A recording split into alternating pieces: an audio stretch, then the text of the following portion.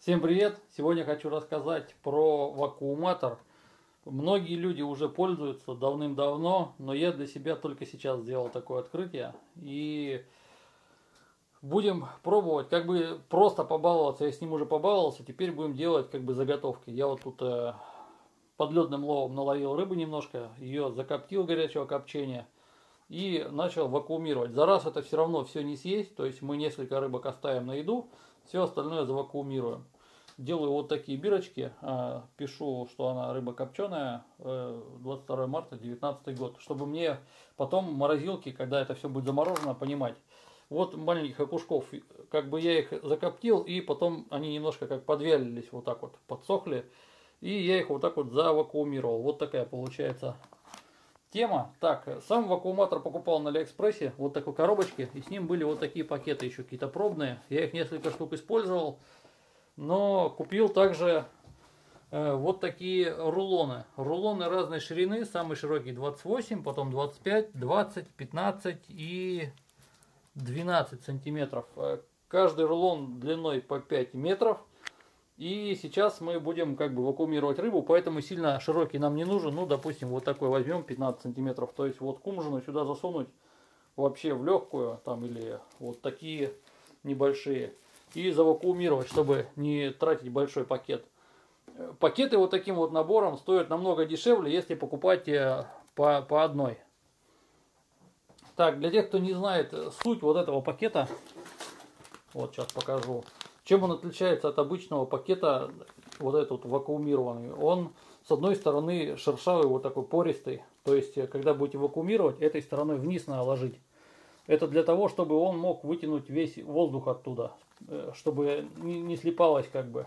Так, ну открываем пакет. Э, он идет не пакет, а рулоном. Для того, чтобы нам это все дело завакуумировать, надо один конец запаять. То есть мы сейчас на вакууматоре есть две кнопки. На одну он высасывает воздух и вакуумирует сразу, а на вторую он просто запаивает. То есть сейчас мы отрежем по длине рыбы и завакуумируем один конец. Давайте сразу это самое запаяем один конец. Возьмем побольше, потому что там бумажка. Так, э, вот этой стороной шершавой надо ложить вниз. Защелкивается и запаивается. Моргает индикатор. Как только он перестанет э, моргать, значит она уже запаялась. Так, все, нижний у нас запаялся. Вот такой шов получается. Теперь, ну, давайте самую большую, вот так вот с запасом. Отмерили, отрезаем.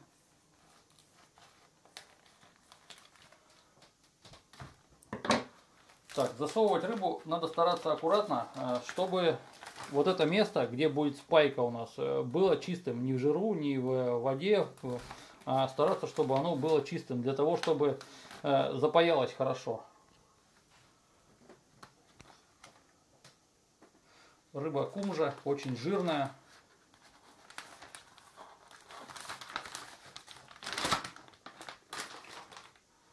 Как-то вот так она у нас получилась. Мы сюда положим бумажечку, вот такую. То есть, что рыба копченая 22 марта 2019 года. Чтобы мы потом в морозилке могли понять, что это такое и, как это. По много накладывать не буду. Э, по причине, чтобы можно было сразу все это достать, один раз открыть и скушать.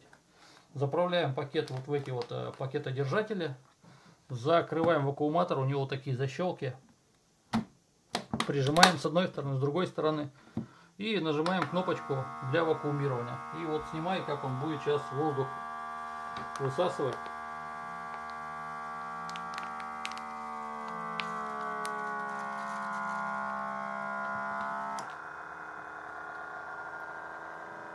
Все, он высосал воздух и запаивает. Сейчас вот видно. Все, индикатор потух.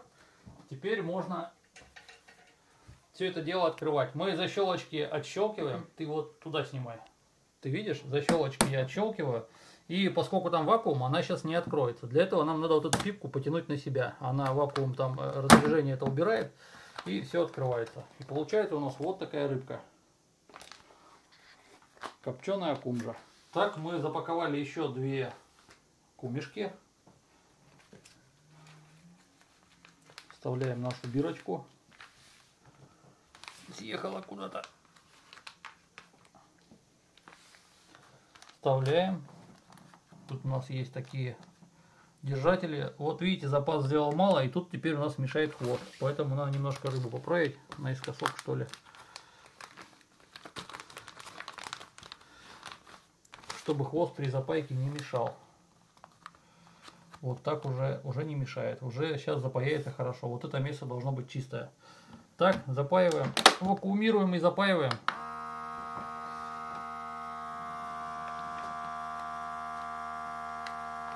Надо, наверное, их в следующий раз немножко раздвигать.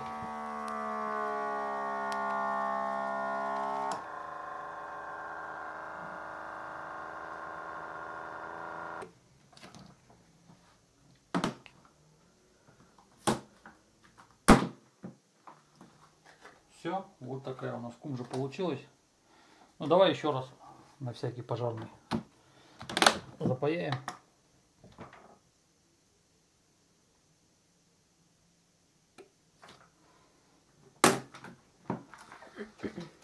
Все, вот такие кумишки у нас получаются. С бирочкой все подписано.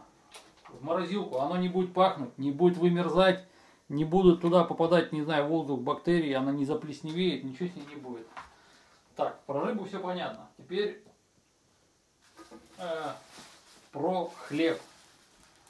Вот кто в деревнях живет, у кого нет магазина на каждый день, хранить хлеб кто заказывает там, или, допустим, кто едет на охоту, в путешествие, еще во что-то. То есть вы покупаете свежий хлеб. Вот у нас батон свежий. Ту заводскую упаковку, если вы в ней будете хранить, оно все очень быстро крякнет. Берем такой же пакет. Давайте мы сразу его резанем с запасом. Запаяли один конец пакета этого, рулона, засунули туда хлеб и Сейчас будем вакуумировать. Вставляем в эти держатели.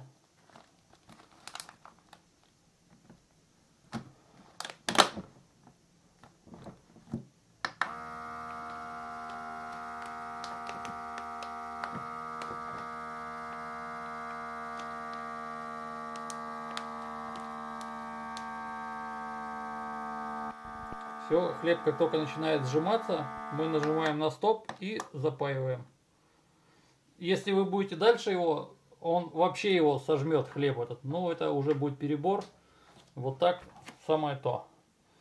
Так, открываем и смотрим. Вот у нас вот так батон получился. Также можно делать хлеб, только хлеб нужно побольше, естественно, брать рулон, вот такой какой-нибудь на 28, и запаковывать. Можно точно так же делать даты, и все, он будет стоять без воздуха очень э, долго. Он не будет плесневеть, не будет черстветь, не будет мокнуть. Э, в общем, очень долго будет храниться. Такие вот заготовочки у меня получились. Все, они с датами, э, все готовая рыба. Убираем морозилку и все. Также можно делать и свежую, она не будет вымерзать, и вяленую, и любую другую рыбу, мясо, я не знаю, там что угодно вакуумировать, все будет очень хорошо храниться. Вот, э, ссылочки будут под видео на вакууматор, на эти пакеты. На вакууматоры даже три ссылочки дам, на дешевый, э, как у меня вот такой средненький. есть более дорогой, такой более большой, там, с держателем для пакетов. И дам ссылки на вот эти вот э, универсальные пакеты. Кому надо, покупайте. Все, всем удачи. Спасибо за просмотр. Пока.